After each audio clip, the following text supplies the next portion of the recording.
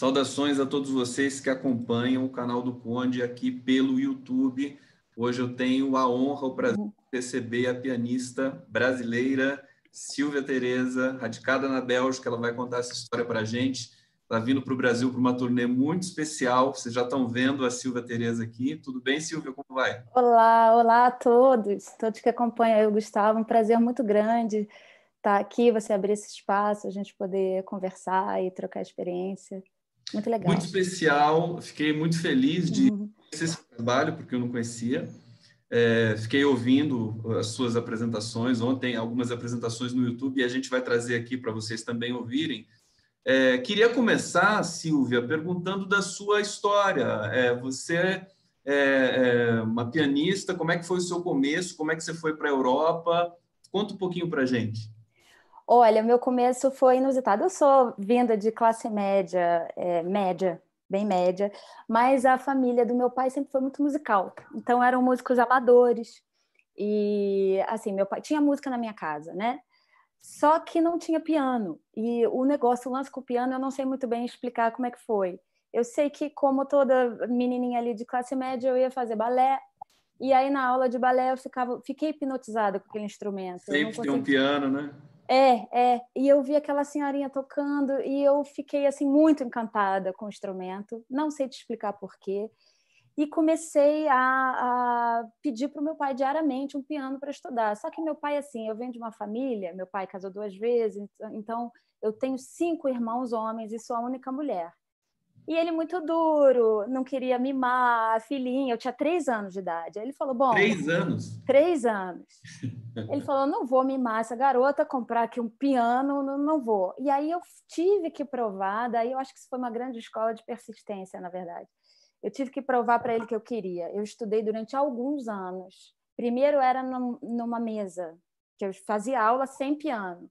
E depois a gente tinha um orguinho eletrônico. Você desenhou o teclado na mesa? Eu ficava imaginando o teclado e tal.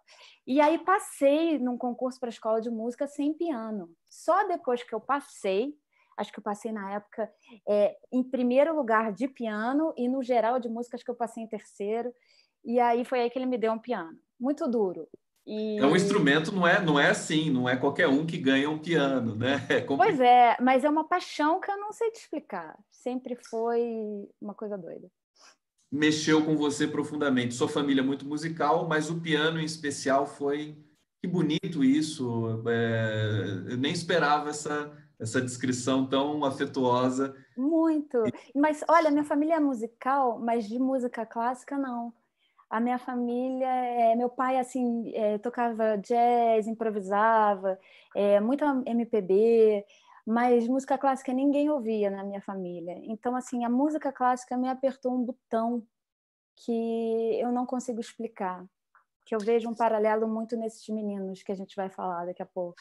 Olha só, eu quero agradecer o público que está aqui chegando para essa transmissão no canal do Conde. Moema Zor, que está dizendo aqui boa tarde, está dizendo ansiosa uhum essa artista maravilhosa. Esse é o projeto Obrigada. que a Silvia Tereza desenvolve, ela vai explicar para a gente. Antes de chegar no projeto, eu ainda quero perguntar mais sobre o piano. Pedro Lula Cândido está dizendo aqui, boa tarde, Gustavo e Silvia, aqui na expectativa para conhecer um pouco sobre a Silvia Abração. É, Silvia, aí você, enfim, você, é, a partir do momento que você ganhou o instrumento, você foi, é, fez aulas no Rio de Janeiro? Você é do Rio de Janeiro? Sou do Rio, sou do Rio de Janeiro. Fiz aulas fez ali. Aulas e como é que foi esse desenvolvimento até chegar o momento de você dar o salto, quer dizer, você é radicada na Bélgica, é, que é o grande circuito dos pianistas é, no mundo, né? É, a Europa, né? É, uhum. Um desse percurso para a gente. Olha, aí foi assim, eu estudei desde muito nova e comecei, uh, meu pai muito dedicado, minha mãe também, começaram a procurar bons professores porque eles viram que era uma paixão séria, que não era um fogo de palha, eu me dedicava, eu deixava de fazer coisas, deixava de sair com amigas, era um negócio que eu tinha um prazer, era o meu universo lúdico, né? Eu sentia que ali eu podia cultivar um universo interior é, sem tamanho e aquilo me era me atraía muito. Então eu comecei a me apresentar desde muito cedo. É, ele procurou assim os melhores professores. O Brasil é um lugar que tem artistas extraordinários em todos os setores, né? Na música clássica também. Eu gosto, eu prefiro falar música clássica do que música erudita, porque eu acho que esse termo aí, né, cunhado também pelo Mário de Andrade, não se aplica, porque a música clássica ela é muito feita para o povo, né? É só uma forma de escrever a música. Eu não acho que é música para um, uma parte da população é, especial ou erudita. Então, é só uma maneira de se escrever música instrumental e tal. E aí, aquilo me atraía demais. Então, procurando assim me formar, porque é uma coisa muito difícil de se fazer, né? Você tocar o piano, tocar esse repertório, Chopin. É muita Beethoven. disciplina, né? É como o balé, né? Você tem que ter muita disciplina para poder. É, é. É, então, assim, eu estudei no Brasil, até fiz todo aquele, aquele caminho normal, concurso, tem, tinha muitos concursos, né, competições nacionais ali, apresentações e tal, até que um dia meu pai, assim, foram duas coincidências na minha vida no mesmo período. Eu assisti no Teatro Municipal, ingresso que eu ganhei, porque meu pai teve uma falência financeira e aí perdeu tudo. E aí realmente a gente foi da classe média até as dificuldades maiores aí que vocês conhecem. E eu, aquelas coisas da vida, né? Eu ganhei de um colega da escola de música, um Mauro Ávila, um beijo grande, Mauro. Eu ganhei um convite para assistir uma pianista russa. E eu me lembro, Gustavo, que foi assim uma coisa muito doida. Eu via aquela senhora tocando, ela vinha da União Soviética, era uma senhora já muito idosa, aquele treinamento alucinante. E o som dela parecia que chegava por trás de mim. Eu nunca tinha visto um som daquele jeito. Isso no e Rio de Janeiro? no Rio de Janeiro. Eu tinha 15 anos. E aí eu decidi, acho que é porque eu não sei, meu temperamento, eu sou capricórnio, não sei se eu acredito nisso, mas eu decidi que eu ia estudar com ela. Falei, eu vou estudar com essa senhora. E a minha prima me ajudou, a época a internet estava assim, não era como hoje, né? Então, eu estou falando isso há quantos anos atrás? Há uns 20, 22, 23, eu estou com 39. Então... Essa, essa pianista russa, ela, ela, ela dava aula em que país? No... Nova York. Nova York. Nova York, é. E ela era mais pianista concertista. Ela dava aula assim na Juilliard School, que é uma escola assim, tipo famosérrima. É, então uma coisa inacessível para mim. Só que eu consegui o telefone dela com meu inglesinho macarrônico, liguei.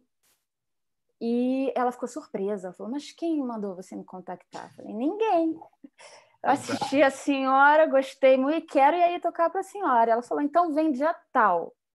Essa foi minha primeira experiência para chegar na Bélgica, porque é muita história. tá, não, eu estou adorando. Assim. é muita história. E aí eu fui, né? Assim, não tinha condições financeiras, mas eu acho que a vida conspira quando a gente tem esse sonho, né? A gente não pode perder nunca o desejo, o sonho. Eu tinha isso, assim, não era é, é, opção eu não ir. E aí a vida conspirou, minha tia me ajudando dali, não sei o que, eu fui. Toquei para a senhora. A senhora me esculachou, porque como to... depois eu fui descobrir o que, era aquele método soviético, né? Eu acho que o único elogio que ela me fez, assim, ao longo de quase dois anos que eu trabalhei com ela, foi: eu não tenho nada a dizer, próximo. Era assim, era de uma rigidez. Mas ali eu aprendi disciplina. Ali eu aprendi, eu aprendi tantas coisas preciosas, mas eu saí das aulas chorando.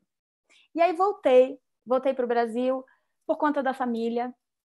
Eu queria ter ficado na Juilliard, eu tinha, para você ter uma ideia, eu consegui estudar com ela, ela me aceitou como aluna particular, mas eu não tinha dinheiro. E eu falei, tudo bem, eu volto. Ela me deu assim um prazo de um mês para voltar, para começar a fazer aulas com ela. E aí, nesse tempo, é, eu ficava estudando, eu não queria fazer turismo, né? Em Nova York eu nem podia financeiramente. E aí eu estava estudando numa sala lá numa escola que eu conseguia, me bate um senhor e sabia da história, porque a gente vai se comunicando, né? Por isso que eu acredito tanto assim nessa partilha entre seres humanos. E ele falou na hora, assim, te digo, no dia que eu ia pegar meu voo para voltar, ele vira para mim e fala: Silvia, vem aqui que eu quero que você toque para um casal.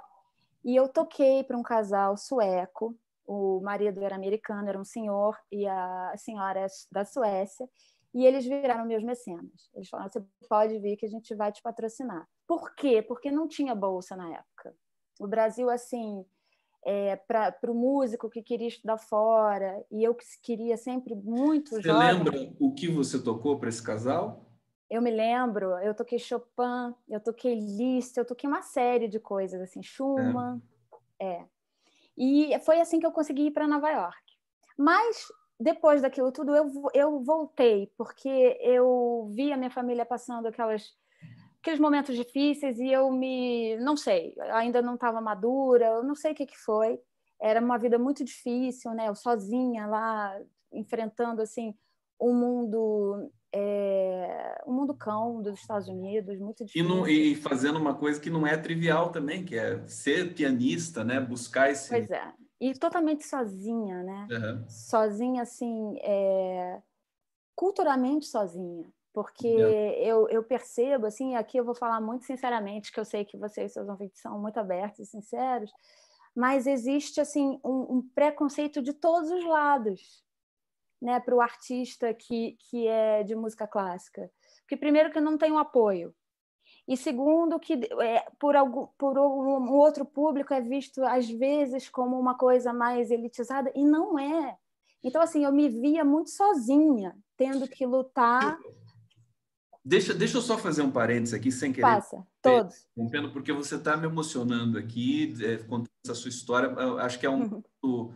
espetacular aqui, um dos mais emocionantes para mim nas entrevistas que eu faço no YouTube porque a gente entende também o que, que vem para você construir esse projeto, que daqui a pouco a gente vai falar. Ah, sim! Está tudo conectado uma coisa com a outra, mas tem o dado, quer dizer, de ser também mulher num, num campo que ah. tem muitas mulheres pianistas, mas a gente sabe que também existe machismo, misoginia também nesse, em, todos os, em todos os setores da, da sociedade humana, né? Nossa, mas você não imagina, Gustavo, é, sendo mulher brasileira no exterior, infelizmente, assim, a imagem que, que projetaram da, do brasileiro eu já acho, né? Mas da mulher brasileira no exterior é uma coisa que eu preciso desconstruir e eu preciso às vezes ser fazer frente aos meus pares assim de uma forma até injusta, né? Mostrar mais serviço, digamos assim, para que eu consiga ter respeito. Isso aí realmente é uma verdade. Olha, é, vamos. Deixa eu só é, falar com o nosso público aqui, que está comentando aqui no bate-papo. Deixa eu ver aqui, COF Brasil, boa tarde, Conde Silvia, Paulo Falcão, em 2020, tá que o pessoal já fazendo o discurso político. Hoje é uma entrevista mais cultural, teremos uma pegada política, mas eu vou, vou puxar mais para as perguntas e para o debate dentro do campo cultural e das, dos empreendimentos dos projetos sociais. Heloísa Helena Dias Leite Boa tarde, Conde. Essa artista pianista Silvia e essa artista pianista Silvia. Adriana Coppi dizendo boa tarde, Conde Silvia, boa tarde a todos, São José dos Campos. Como o Thompson está dizendo, Silvia é ótima, mandando um coraçãozinho aqui para você no, no bate-papo.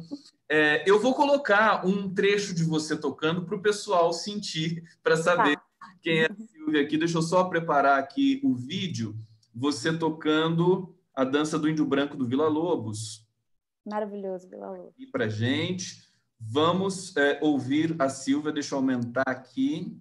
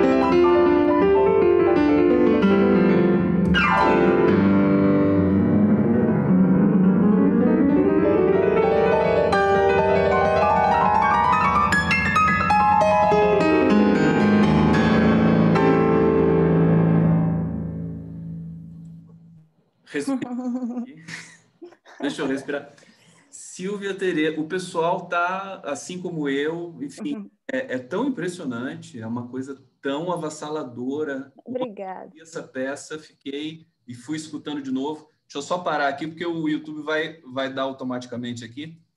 Deixa eu só voltar. Estamos aqui ao vivo de novo. Então, vamos respirar. O público aqui, maravilhosa. Meu Deus! Essa clássica é legal. Caraca, que demais aqui o Pedro Gadelha. Porque é, é, esse feedback imediato também que a gente tem na internet é interessante, né? Muito. Agora, enfim, eu, eu, eu prefiro que você fale um pouco até eu conseguir recobrar aqui a, a minha a, minha capacidade de formular questões. é, é arrebatador. Onde foi essa gravação? Essa gravação é... foi, foi lá na Bélgica, na escola que eu dei aula. Que a gente é, é, é, o, é, o, é o estúdio, é um anfiteatro ali? De... É um teatro, é. Um é um teatro. É. Que peça espetacular. Sua relação com Vila Lobos. Vila Lobos é tão especial, né? Maravilhoso. Eu acho que Vila Lobos assim, é um tesouro, por mais que ele seja o nosso compositor talvez mais tocado, eu acho que a proposta dele a gente não absorveu como cultura. Porque, assim, ele ficou um pouco estigmatizado também, negócio do Getúlio, não sei o quê, mas... É... Ele era um grande nacionalista, né? Era, mas ele fez uma, uma proposta ali, né, com, junto com os modernistas, assim, da gente ter, ter aquela coisa antropofágica, né? A gente digerir tudo e fazer o nosso, né? Então, assim, ele é tão visceral, ele é tão isso, que eu sou apaixonada por Vila Lobos. Agora, a música dele é tão especial e, e, e, você pode dizer muito melhor do que eu possa comentar aqui que o Vila Lobos é um dos compositores mais respeitados do mundo. Né? É, ele é muito respeitado. Assim, eu sinto, sinto falta de, assim, ao longo da história do Brasil, não é só nesse momento ou em outros, eu sinto falta do, do Brasil impulsionar um pouco mais Vila Lobos com as orquestras estrangeiras, por exemplo. O Vila Lobos é tocado, mas ele não está no circuito, assim como está. E é tá difícil, um... né? Ele é, acho que deve ser considerado um pouco exótico também. Um pouco exótico, teve precisa de um pouco de revisão da parte orquestral, como precisou Stravinsky, uhum. mas de qualquer maneira ele, assim, para mim ele está na altura de um grande, sabe, de, de Beethoven, assim, a gente não toca em Beethoven, é como se fosse um mito, né? Mas ele está na altura desses grandes, eu acho o Vila Lobos assim um Por falar em Beethoven, é, última pergunta antes da gente entrar no projeto social e depois a gente volta a falar de música mais uma vez, que é muito uhum. com você, você é uma pessoa muito simpática. Obrigada. traz aqui uma, uma, uma vivência para a gente muito especial. É, você tem um disco que você gravou, um, um álbum do ano passado, que é Manifesto Romântico, né? Isso. É, o que, que, tem ali? Eu, eu, eu, vejo que as suas predileções, você tem predileção pela música romântica, Brahms, Schumann. Fala um pouquinho dessa sua cultura. Não é assim só pela questão da música em si, porque eu gosto muito, mas é toda a filosofia do romantismo, né? Eu acho que às vezes a gente entendeu errado, pelo menos eu, quando era bem mais jovem, eu tinha entendido o romantismo como sendo um período assim muito focado nas relações românticas, é, nas relações amorosas, e não eu me debruçando mais assim sobre o período romântico, eu descobri ali um movimento que para mim é tudo hoje. Um movimento desses compositores que começou em Beethoven, na verdade, contra esse consumo da arte como sendo uma coisa superficial, como sendo mais um chá inglês, como sendo mais um champanhe, como sendo mero entretenimento. Então, assim, os românticos, eles viam a arte como sendo, assim, não só crítica, né, mas um elemento fundamental para você transformar o ser humano em primeiro lugar, e depois uma sociedade. Então, a arte tinha essa função, né, que muitas vezes não é agradável. Então, o movimento romântico, assim, e toda essa expressão que os românticos se permitiam, né, as catarses, a expressão de tudo que é humano, sem nenhum tipo de limitação, com liberdade, eu acho isso tão lindo que eu me identifico, acho que a minha personalidade se identifica. Nesse seu álbum, você quais compositores que você levou? É Chopin e Brahms. Chopin é. e Brahms. É. É, eu queria, então, vamos falar do projeto que você é, idealizou. Eu queria que você explicasse um pouco para a gente, que é o projeto, é, é, só localizar aqui, peraí, o Mestres em Resistência, né? Em, re, em residência. Residência, desculpa. chama, chama escopo. Ato falho, ato falho. Desculpa, mestre que é, é um projeto muito ambicioso. Estou vendo aqui programa de qualificação de excelência para milhares de jovens oriundos de diversos projetos sociais. Você, você acho que está coordenando isso. Queria que você explicasse para a gente. E você está vindo para o Brasil é, para fazer apresentações em várias capitais. Também queria que uhum. você falasse a respeito dessa sua turnê e da conexão da ligação com esse projeto. Silvia. Sim, eu vou fazer um pequeno parênteses para você entender como é que eu cheguei nisso, tá. né? Então, assim, voltei dos Estados Unidos, é, fiquei no Brasil estudando com uma grande professora ali, Miriam Dalsberg, que tinha uma agência de, de fazer cultura também, também produtora cultural. E nesse período, muito pela dificuldade que eu comecei a enfrentar na minha própria vida pessoal, eu comecei a me sensibilizar com o outro. E a vida me colocou para ir nas comunidades. E eu fui. Eu cheguei a desenvolver um projeto com um colega pianista antes desse, né, que se chamou Música da Futuro. A gente atendeu 12 mil crianças no estado do Rio de Janeiro. Meu querido colega Nivaldo Tavares, outro pianista maravilhoso. E a gente foi assim nas situações mais surreais. E eu tive experiências assim do poder transformador da música é, que impactaram a minha vida de fato. Então, assim, experiências de sensibilização, da gente chegar em comunidades assim completamente dominadas pelo tráfico, entrar ali, inclusive, assim, passando barreiras e tudo, e, e, eu me dispus a fazer isso, porque eu não, não conseguia me ver só isolada em salas de concerto, porque o meu povo, eu vi ali o, o outro lado do Brasil, né? Falei, não, então isso aqui também é o meu Brasil, o que, que a gente pode fazer aqui para melhorar a, a, vida dessas pessoas. E com isso eu fui vendo que eu fui me melhorando. Na verdade, era eu estava ali muito mais para eu aprender muitas coisas. Então, nessa minha busca de vida, o projeto acabou.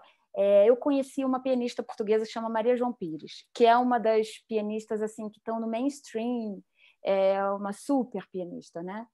Mas uma humanista assim sem igual. Então, ela mudou muitos paradigmas, né? Ela me levou para morar na casa dela muito por conta assim da gente questionar essa realidade é, é, de como se faz cultura hoje, né? Ela também muito questionadora, então ela ensina nos moldes da Renascença, né? Ela é uma crítica da academia, então ela falou: vem morar comigo e assim tudo muito lúdico, tudo muito. Ela me deu as aulas mais preciosas, eu estudando piano e ela fazendo pão na cozinha. Ela morava em Portugal? Ela morava, morou na Bahia um período. Morou na Bahia. Né? É, e depois ela foi para a Suíça. E foi aí que ela me convidou para ser professora assistente dela nessa escola, que se chama Chapelle Musicale Rainha Elizabeth, que é uma escola da realeza belga. Só que é uma escola que as pessoas falam assim, é para o creme de la creme dos músicos do planeta. E aí eu falei, meu Deus, olha a minha vida, eu estava ali, né? agora vou dar aula. E olha, foi uma experiência difícil, né? Eu fui assistente dela ali quatro anos, e a condição que a Maria João colocou para trabalhar naquela escola, que é maravilhosa a escola, os alunos têm uma vida assim de sonho, mas, enfim, é, foi que eles fizessem projetos sociais. Então, ela levou aqueles alunos todos que estavam lutando ali para serem solistas, para irem a orfanatos, a prisões, a... e aonde, assim, ao encontro do outro que normalmente a gente julga, é... a gente julga, né? Exatamente, a palavra é verbo intransitivo, né? É, a gente julga. E aí, muito nesse contato lá com Maria João, esse período acabou, continuei na Bélgica, não dou mais aula nessa escola, e a gente fez uma associação de artistas que se chama UANA. Sou eu, Vitor Soma, que é meu marido, compositor também, músico brasileiro que a gente mora lá, e outros tantos artistas assim do nosso meio, né? A gente percebeu que a arte hoje ela precisava ser não entretenimento, mas assumir o seu poder transformador na sociedade, porque a gente viu de perto, né?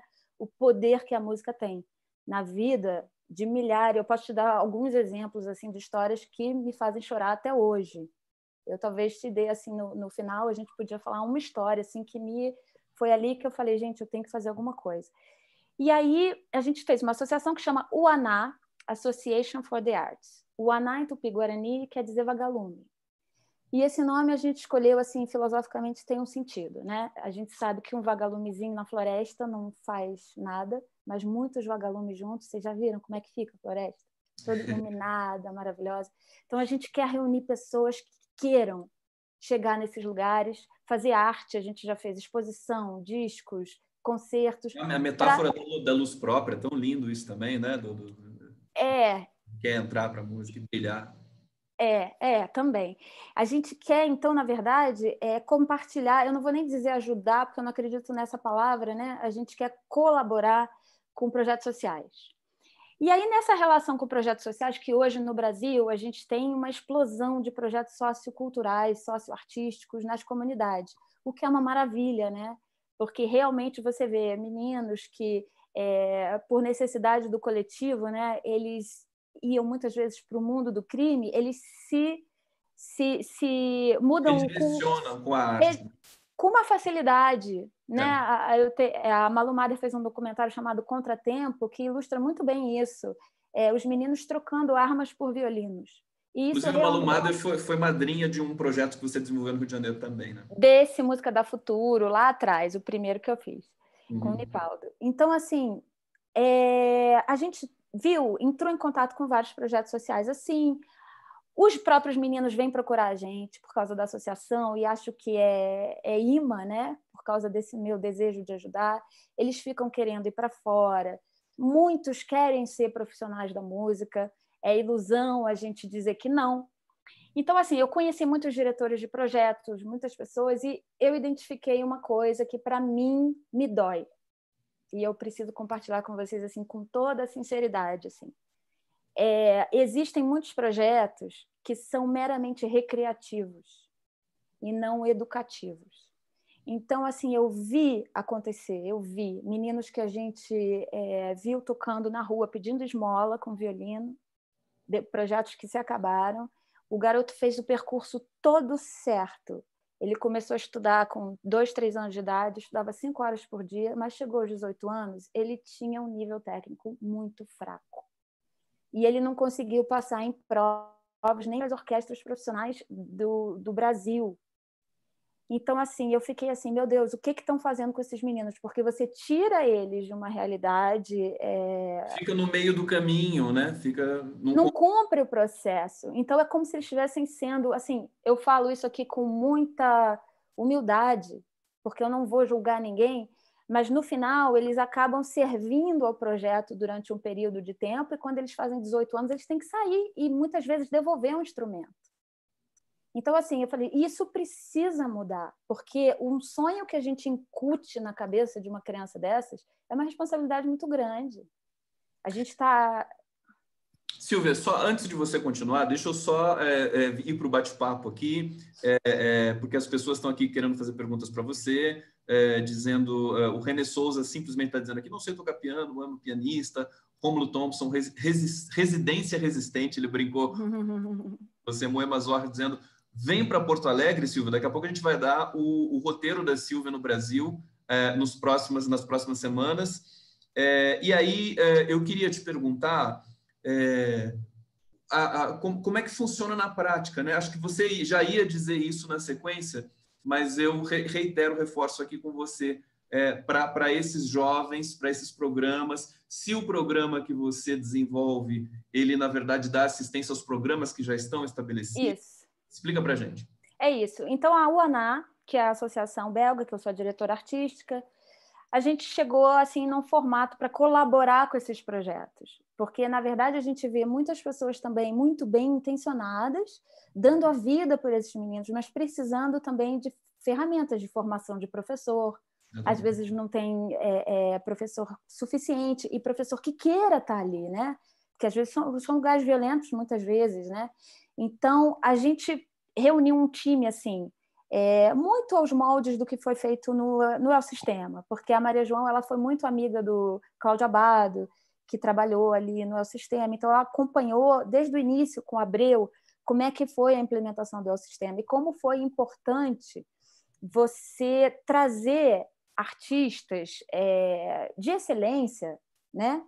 Para trabalhar com professores. Então, esses artistas de excelência podem ser do Brasil, que nós temos muitos, ou de fora. Assim, contanto que os brasileiros queiram ir ali, né? Muitos dos meus colegas estão indo e querem, tem colegas maravilhosos fazendo trabalhos incríveis, mas são muitos projetos. Então, assim, é, a gente não pode aceitar perder nenhum desses meninos, né? Então, a gente fez esse modelo mestre em residência, que é vir artistas de fora, com a gente já tem parceria aí de instituições importantes, como o Kodály, da Hungria. O Kodály é uma coisa muito linda, eu vou explicar para vocês o que é Kodály rapidamente. Que o Kodály tem uma filosofia que, para mim, assim, eu que estudei em escola é, é socioconstrutivista, Piaget, isso para mim é tudo, né? Que a filosofia deles é a seguinte: você vai chegar num lugar onde ninguém quer ir, mas você vai chegar com o mesmo nível de arte como se você estivesse indo para a sala mais importante do planeta.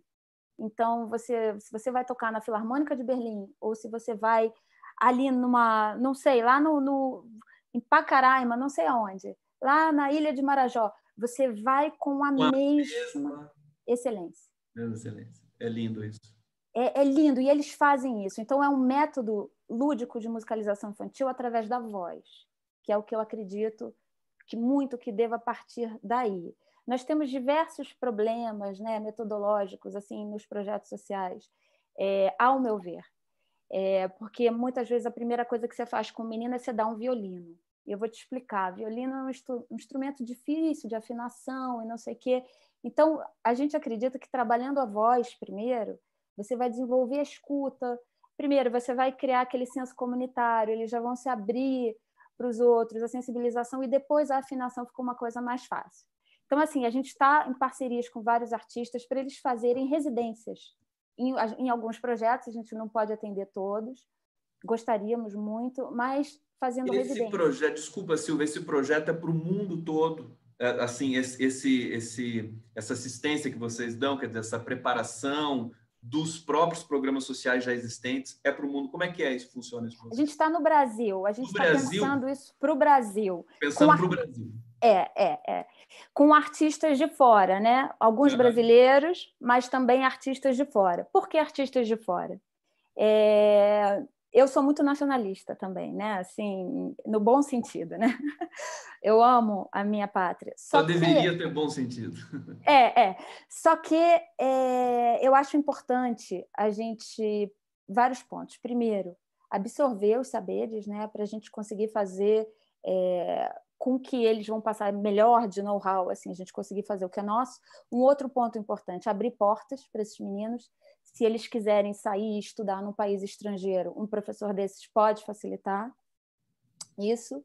Essas instituições estão com isso em mente, abrir portas para esses meninos poderem sair, coisas que a minha geração teve dificuldade de ter e tantas outras. Assim, não é sempre que teve essa política para as artes de bolsa de estudo para fora do país. Então, a gente quer fazer isso para os meninos que querem, né? Que, que, que têm esse sonho. Então, assim, mestres em residência é isso. Ainda ele está acontecendo de forma informal, porque é a história da minha vida. Eu vou nessa turnê, por exemplo, eu convidei um amigo que é um violoncelista belga, é maravilhoso, toca muito bem. E aí, sempre que eu venho fazer uma apresentação, eu não consigo ir só num teatro fazer apresentação. Eu preciso ir ou numa comunidade, ou numa escola pública, ou em algum lugar. Então, eu vou levar o Alexandre de Bruce, que é esse violoncelista, em dois projetos sociais, um em Fortaleza e um é, em Barra Mansa, para trabalhar com os meninos. E a gente vai levar meninos de escolas também para assistirem. Tem escolas agora que tem ensino de música, a gente vai levar, nossa associação vai levar eles para assistirem aos concertos e para fazerem aulas particulares com ele também. Então, a gente está sempre disposto né, a, a, a, partilhar aí com esses meninos que, que têm sede. Vou te falar, Gustavo, tem sede. Tem sede de, de aprender a arte, de ser bem servido do ponto de vista técnico, né? Isso é muito importante. E eu queria te perguntar, Silvia, é, as pessoas que se interessarem, que estão assistindo a gente e que têm os seus programas, como é que elas fazem para mobilizar, quer dizer, para é, desfrutar, digamos assim, desse, desse programa que você idealiza aí? Com seus parceiros? Olha, vocês podem entrar em contato com a gente, né? A gente está assim em todas as redes. O site da UANA, a UANA, ela é uma associação sem fins lucrativos, mas que só tem sede na Bélgica. A gente não tem a UANA no Brasil. Mas vocês entrem no site www.uana, sem acento, né? .be de Bélgica e ali vocês vão ver o que, que a gente está fazendo. É, o meu site também eu falo um pouco, silvateresa.me, e, assim, a gente precisa de todo tipo de colaboração, né? Eu, tô eu acho que eu entrei no site aqui, deixa eu só ver se é esse mesmo. Fala para mim se é esse aqui. É esse aí. Esse aqui. Então tá aqui o é. site para vocês coletarem as informações e poderem fazer parcerias, né, Silvia? A gente conseguiu, por exemplo, tem uma instituição na Bélgica que se chama Music Fund. Eles doaram 600 instrumentos para projeto social e através da UANA. Só que a gente está tendo tanta dificuldade, sabe, Gustavo, de mandar vir esses instrumentos por questões de lei do Brasil. É impressionante como é que o, o, o é difícil no Brasil você querer, é, você não tem como fazer doação, é complicado. Então a gente está tentando é imposto, imposto que tem que pagar é quase o valor de todos os instrumentos. Então a gente está tentando articular, tem que aí tem que ter um lado político para fazer entrar esses instrumentos, né? É, para esses instrumentos chegarem nos projetos sociais.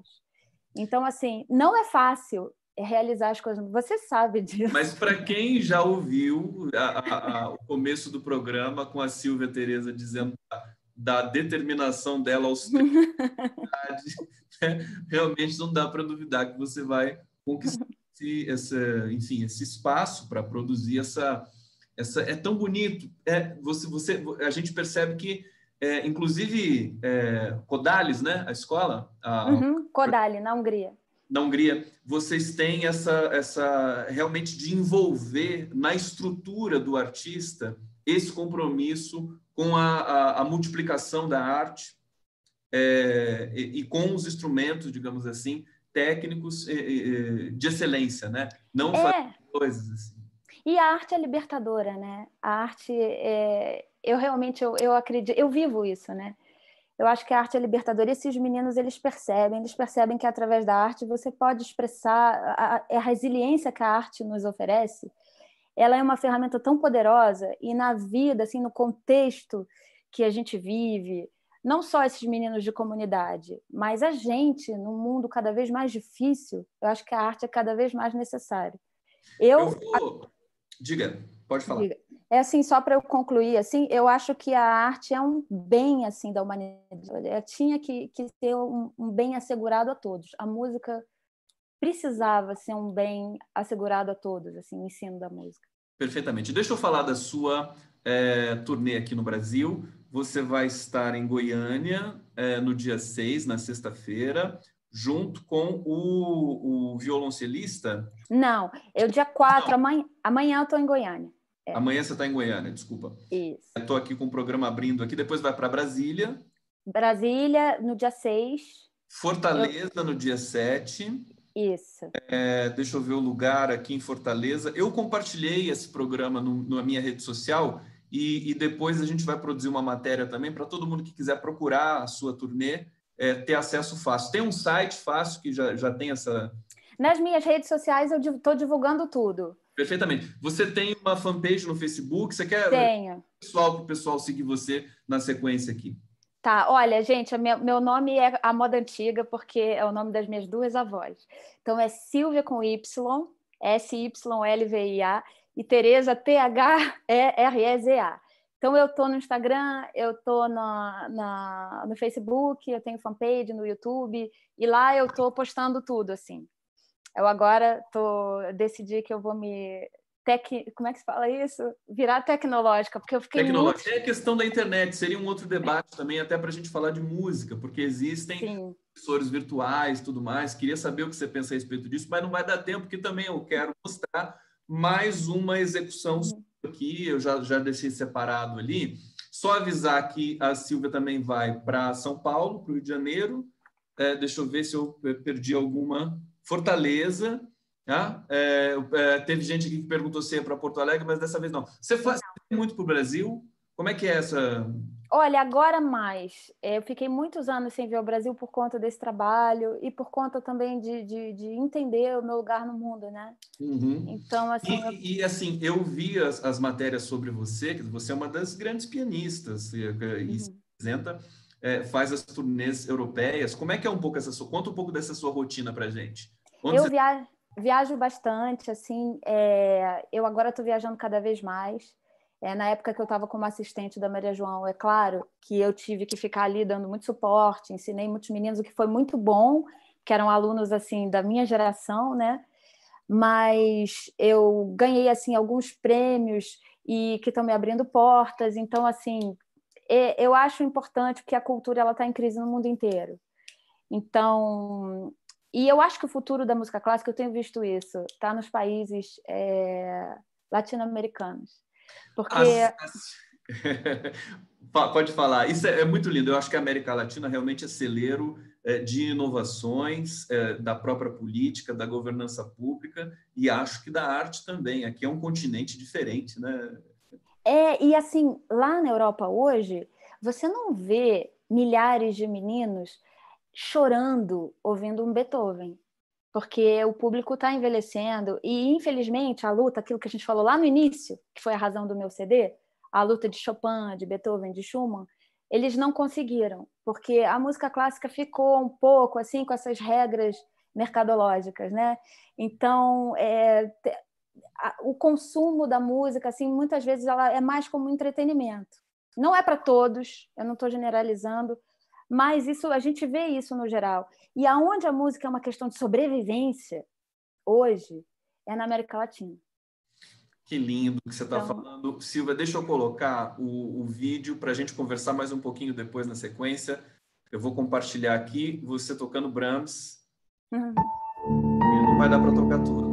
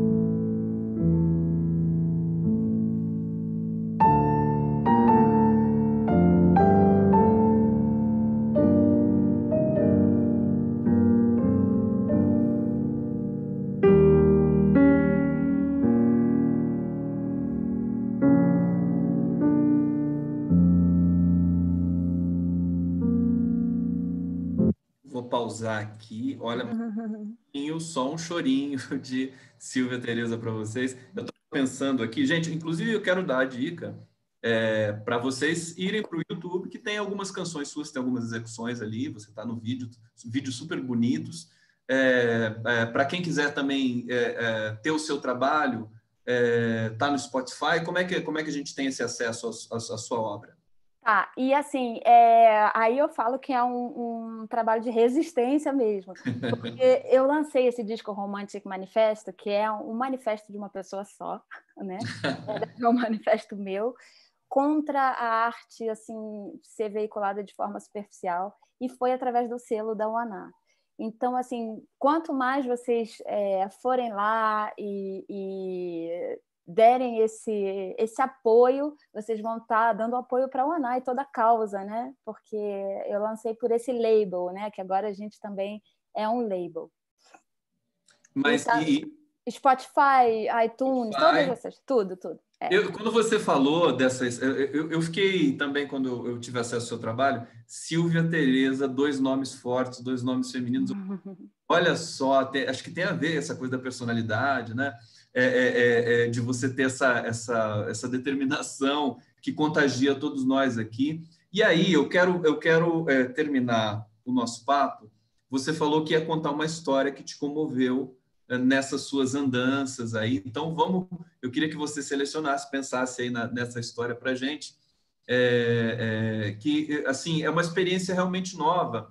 Esse teu discurso, acho que é muito é muito importante é, para quem lida com arte, para quem lida com programas sociais de inclusão artística, cultural, porque eu acho que é uma novidade, é uma novidade para mim, pelo menos, é, ter essa, essa, enfim, essa, essas vertentes, essas interfaces da qualificação, do instrumento, da desburocratização de algumas coisas, da determinação acima de tudo. Então, é, assim, queria dizer para você que é, é, muita felicidade realmente conhecer o, o, trabalho que você desenvolve associado à arte, né? Quer dizer, entranhado na estrutura da produção estética, também a política e também a ideia da, do, é, é digamos, de produzir essa, esse empreendedorismo social. Uma palavra não é muito boa, mas essa, uhum. essas iniciativas que a gente vê. Diga lá. Sim, é, é, eu acho que é acreditar no resgate do humano, né? Eu vou te contar uma história que eu, eu espero não me emocionar, porque sempre que eu lembro eu me emociono, mas é, é realmente é sincero. Eu estava na Cidade de Deus, tocando lá com o Nivaldo Tavares no projeto, e tinha um menino, aqui eu vou falar com vocês assim, muito francamente, como amigos, porque somos, né? Somos todos iguais, né? Tinha um menino que me causava uma certa estranheza, para não dizer uma, não dizer uma palavra mais pesada, né? É, ele era um menino que vinha de uma condição difícil, era um menino sujo, era um menino é, que parecia mesmo um bandido. Se a gente encontrasse na rua, muitos de nós iam atravessar a rua, né? Então, assim, esse menino, ele chegou para mim quando o Nivaldo estava tocando um esquerdo de Chopin. Ele me abraçou as pernas, me abraçou todo. Aquilo me deu uma sensação difícil e ele virou para mim e falou assim: Tia, eu posso chorar? Era a primeira vez que ele ouvia um, via um piano e que ele ouvia um Chopin. E era um menino bruto, porque era aquele tipo, era o bandido da escola, mesmo naquela escola. E ele começou a chorar de um jeito. Eu falei, tá aí, eu entendi ali o poder de sensibilização que a música tem. E eu falei assim, não é historinha. Quem viveu na prática não é um discurso é uma, é uma experiência, é empírico, né? Eu vi isso. Então, assim, eu fiquei com dó de que aqueles meninos que estavam ali, a gente não conseguiu fazer uma escola de excelência, porque a gente tinha 5 mil cartas de crianças pedindo escola de música, eles queriam fazer na época, né? E eu não consegui. Isso é uma faca que atravessa o meu coração. Mas eu vi ali o poder que a música tem, eu não abro mão desse poder, dessa ferramenta para sensibilizar. Então, eu não acredito em ser humano perdido, assim, em ser humano que a gente não deva investir, que a gente não deva ir até eles, entende? Então, assim, essa é, não é uma bandeira, mas é uma coisa que realmente eu vivo, eu acredito e estou trabalhando para que isso seja possível. O Brasil é um país, assim, é, falo isso com orgulho como brasileira, é um celeiro de pessoas extraordinárias, assim, ser, seres humanos sensíveis. Eu, tantos anos morando lá fora, quase 10 anos, eu vejo o quanto o Brasil é especial, o quanto o Brasil precisa manter assim essa, esse seu lado é, amoroso, sem banalizar a palavra, né? Esse seu lado de se dispor para o outro, isso é muito profundo e às vezes a gente banaliza isso. Eu acho que essa é a nossa maior resistência é quando a gente conseguir, através do, da doação, através do, do, se colocar à disposição, né, através de ir ao encontro do outro, essa partilha transforma os dois lados, né? E aí a gente vai construindo um Brasil com tudo que ele pode ser, com todas as suas potencialidades. Silvia Tereza, olha, muito obrigado. O pessoal está emocionado aqui, todo mundo falando bravo, parabéns, que maravilha. Obrigada, gente. É, quero te agradecer imensamente, felicidade realmente conversar com você. Espero que a gente converse mais vezes. Aliás, por esse instrumento, mesmo você estando na Bélgica, você estando em qualquer lugar do mundo, a gente pode se encontrar, pode falar de novidades. E, enfim, quero te desejar todo sucesso nessa turnê aqui no Brasil. Acho que você vai é, essa coisa emocional que você tem de, de, de, de, de, se encantar com as pessoas. Acho que muito bonito. Quero recomendar quem estiver em Brasília, quem estiver em Goiânia, no Rio de Janeiro, é, é, enfim. Não sei se eu consigo ir num dos seus concertos, mas eu vou, eu vou me esforçar aqui, vou avisar meus amigos também que estão nessas cidades para irem acompanhar você. Eles vão ver através do programa também, acho que vai aparecer as pessoas para te, te acompanhar com o seu trabalho maravilhoso. Mais uma vez, obrigado tá bom? E... Obrigada a você, obrigada pelo espaço, obrigada pela sensibilidade, sobretudo. Obrigada a todos vocês que gastaram aí esses minutos ouvindo a gente. É, tudo de bom. Valeu, gente. Até daqui a pouco eu volto aqui com um novo programa e a gente se encontra em breve. Valeu. Até já. Tamo juntos, hein? Tamo juntos.